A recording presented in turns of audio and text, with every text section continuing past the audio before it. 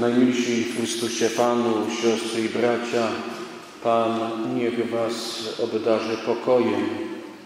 Usłyszane słowo Jezusa, jak mogliśmy stwierdzić, słowo, które dotknęło do żywego słuchaczy, słowo bardzo prowokujące, bardzo to mało powiedziane, słowo y, będące prowokacją niemalże śmiertelną, stąd ta reakcja, wręcz chciano y, po raz drugi już zabić Jezusa. Po raz pierwszy próbował Herod, tym razem chcą Jezusa zamordować jego właśnie rodacy, więc są doprowadzeni do, do stanu furii, więc to słowo ich, ich przeniknęło do żywego. Niech i dla nas będzie wskazaniem, jak tu i teraz, dziś i do końca życia wyznawać wiarę w Jezusa Chrystusa. Rozpocznijmy od takiego mm, stwierdzenia, że Jezus powiedział to słowo nie ludziom w wierze oziębłym, którzy jej nie traktują poważnie. Rzecz dzieje się w synagodze. Jest szabat. Do synagogi w szabat przyszli wierzący i praktykujący. Nie jesteśmy znowu aż tak naiwni, by mniemać, że to wszyscy Izraelici są w szabat w synagodze. Zapewne było dokładnie tak, jak jest dziś. To ta, no może ciut lepiej, dobrze, no może ciut lepiej, ale oczywiście bez przesady. Przyszli zatem wierzący i praktykujący Izraelici przyszli w szabat do synagogi, by słuchać Bożego Słowa i psalmami uwielbiać Boga. Zarazem znajomość Słowa jest przez zgromadzonych w synagodze Nazaretańczyków wybiórcza. Jezus przypomniał im dwa wydarzenia ze Starego Testamentu, które w rzeczy samej nie doczekały się specjalnie wielu komentarzy. Wiemy, że mm, pobożność Izraela zaowocowała komentarzami do poszczególnych ksiąg, prawda? Księgi były, były komentowane i te komentarze karmiły i po dzień dzisiejszy karmią pobożność nie tylko Izraela, także uczniowie Chrystusa, który przyszedł w ciele jako Żyd, mogą korzystać z tychże komentarzy, które istotnie rzucają wspaniałe światło na księgi Starego Przymierza. Te jednak dwa wydarzenia to jakby tak pomijane, bo są bardzo nieprzyjemne. Jeszcze po takim czasie, więc wydarzenia, które opowiada Jezus, no y, Asyryjczycy straszliwie gnębili Izraelita. To były lata mniej więcej 700, dokładnie w 721 roku asyryjski władca Tiglat Pileser III najechał y, Izraela, konkretnie najechał Samaria. Tak parę razy sobie takie właśnie rejzy uprawia, więc są lata 700 przed Chrystusem, no więc to 300 lat. Nie? 300 lat ta historia. Czasy Eliasza to jest jeszcze przecież, o, trzeba by się cofnąć o co najmniej 500 lat. A jednak jeszcze samo wspomnienie mm, tych sytuacji doprowadzało, jak słyszeliśmy, Izraelitów do stanu y, o nieprzytomnienia. Czemu? No właśnie temu. Asyryjczycy to był chyba lud, który najbardziej antysemicki lud wszechczasów. Chyba nikt bardziej nie gnębił, nie gnębił Izraela jak Asyryjczycy. A jednak Słowo Boga mówi o uzdrowieniu, którego beneficjentem jest nie byle kto, tylko dowódca armii najeźdźczej Naaman.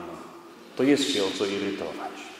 No i ta uboga wdowa pochodzi z Sarepty koło Sydonu. Sydon obok Tyru i greckiego Koryntu no, nikt się nie przyznawał tak lekko, że pochodzi z Sydonu.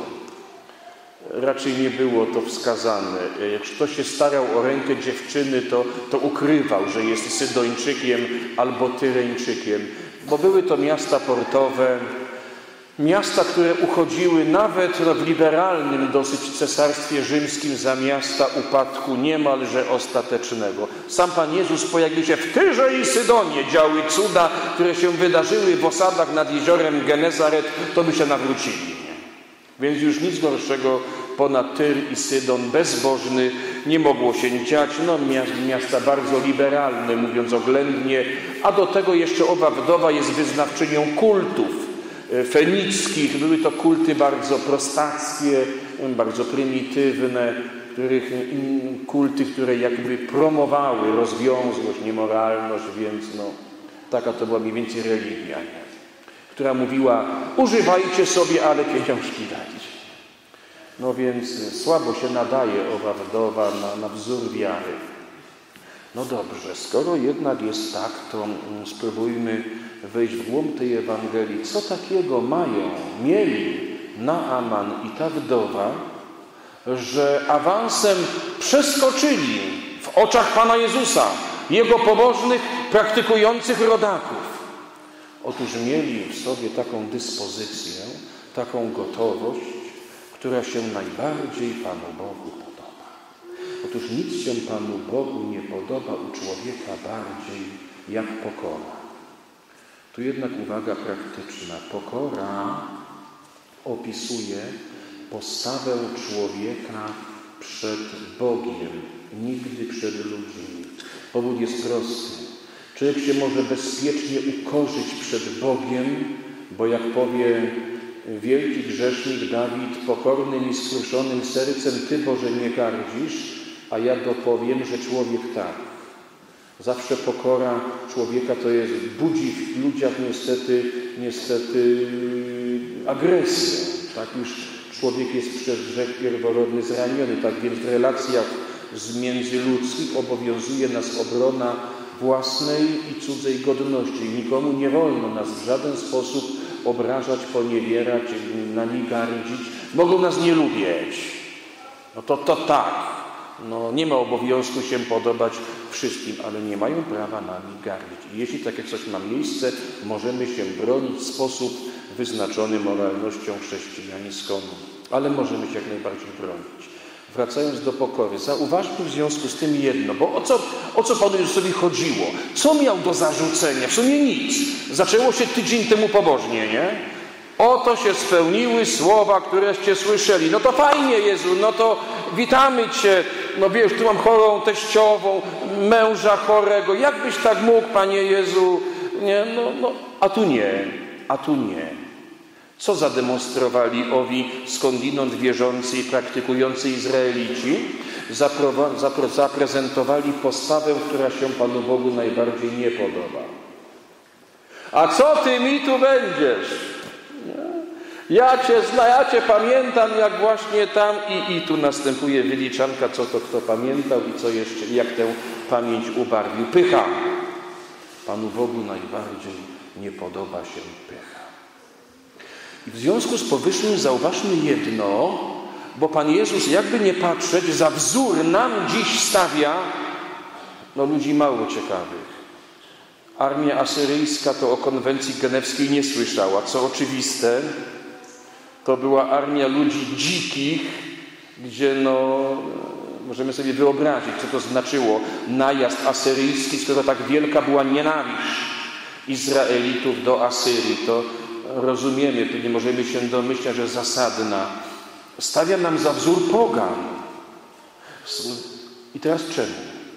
Bo my, chrześcijanie, uczniowie Jezusa, zauważmy to, jesteśmy naprawdę naprawdę przekonani, że nasz Bóg jest i wyrazimy to przekonanie za chwilę mówiąc wierzę w jednego Boga, Ojca Wszechmogącego, Stworzyciela nieba i ziemi. To ziemi jest istotne. Nie tylko tego między Bałtykiem. No właśnie młodzież zna punkty kardynalne naszej ojczyzny. Prawda, że zna? No znamy, wiem, nie tylko. Ziemi Zwróćmy uwagę, nieba i ziemi. My w to wierzymy naprawdę, a na tej ziemi tak było zawsze, tak jest również teraz. Chrześcijanie nie są większością. No nie są. A jak sobie historię tej ziemi, prawda, mm, przejrzymy, no to jeszcze będzie gorzej. Okaże się, że no jakiś tam ułamek znał Boga w Trójcy Jedynego. Teraz jak to pogodzić? Czemu tak? My naprawdę wierzymy, że Pan Bóg jest Stwórcą ziemi, wszystkich rzeczy widzialnych niewidzialnych, że jest w ogóle Stwórcą czasu, a zarazem sam jest ponad a sam jest ponad. My w to naprawdę wierzymy. Mówiąc im prościej, wierzymy naprawdę, powinniśmy w to wierzyć wiarą boską i ludzką, że Bóg zbawia kogo chce, jak chce i kiedy chce. Po prostu. Zarazem ta wiara wcale nie ujednolica wszystkich religii. Skoro tak, no to nieważne, co tam się bierze, aby człowiek ma być dobrym i tyle. Nieprawda, że wystarczy być człowiekiem albo że trzeba być dobrym. Nieprawda. Gdyby wszystkie religie były tak samo dobre, ojciec nie fatygowałby swojego odwiecznie istniejącego z nim syna, by stał się człowiekiem, by był umęczony i ukrzyżowany pod pąskim Piłatem i by zmartwychwstał dnia trzeciego. To by męka Jezusa i w ogóle Jego życie niełatwe. Jak słyszeliśmy, chciano Go zabić w Jego rodzinnym mieście. To jest powód do traumy. Gdyby więc religie były takie samo dobre, zbędne, było, zbędne byłoby życie Jezusa, Jego męka, śmierć i zmartwychwstanie. Tym niemniej, tym niemniej jest ta dzisiejsza Ewangelia przestrogą, że znakiem autentyczności mojej wiary, mojej pobożności, moich modlitw, co powinno być? Miłość do ludzi, szacunek, yy, uszanowanie ich wolności, że Ty masz prawo myśleć inaczej, a nawet wierzyć inaczej. Bardzo mnie to boli, zwłaszcza gdy odchodzisz od wiary. Ale dalej Cię kocham. Modlę się o Twoje nawrócenie, upominam Ciebie. Niemniej Ty masz prawo. Akceptuję to, że Ty wierzysz inaczej. Wszelkie jakieś przejawy pogardy, wyższości natychmiast by nas jako uczniów Jezusa przekreślały. Zwróćmy na to uwagę. To by nas przekreślało. Właśnie tym się uczniowie Jezusa różnią od innych, że nie mówią źle o wyznawcach innych religii, chociaż oni o nas owszem. To jest jednak ich zbójeckie prawo. Bo my wierzymy w Jezusa, Chrystusa, nie oni, niestety. Czyli pokora przed Bogiem, miłość i szacunek wobec ludzi. To jest owocem y, y, naszej wiary. Powinniśmy w tych postawach wzrastać. Bardzo nam i dlatego też postawa klęcząca, zwróćmy uwagę. Z wielką pokorą klęczymy. Nie, o Panie Jezu, no witamy, fajnie, no rozumiemy, no musiałeś do nas przyjść. Nie mogłeś do nas nie przyjść. No gdzie jak gdzie, ale my, prawda? A można by sobie wyobrazić taką przewrotną postawę. Oj można, oj można, skoro spowiednik cesarza Franciszka Józefa to go pytał, czym wasza wysokość raczył obrazić Pana Boga. No tak, możliwe są i takie aberracje w wierze, ażeby tylko takie, ażeby tylko takie, nie? Historia, mieliśmy historię, wszyscy w szkole to coś na ten temat wiemy, ale zauważmy, że to jest wykwit tej olbrzymiej pychy. Panie Jezu, chcę sobie usiąść, a my się zajmiemy teraz. My tu postawimy sprawę, my tu tak do pionu postawimy Takim postawom Pan Bóg się sprzeciwia i wtedy bywamy czasem zbawieni, niezawstydzani przez niewierzących, wyznawców innych religii. No dobrze, dodajmy od razu, że raczej rzadko. No taka prawda, to tak, ale, ale. Żeby nas nie spotkało, nie daj Boże to, co spotkało Nazaretańczyków, że im Pan Jezus wytknął.